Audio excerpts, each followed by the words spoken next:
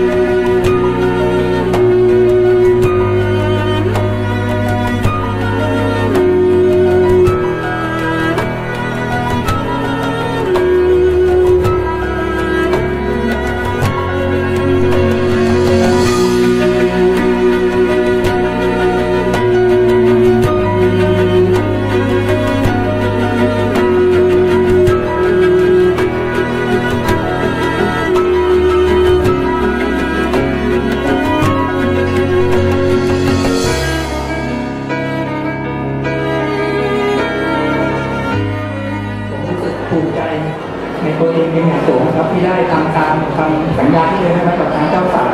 ว่าจะกลับมาแต่งงานครับ แล้วก็จะจัดงานแต่งให้กับเจ้าสาวอย่างสมเกียรติครับเท่าที่ผมจะทำได้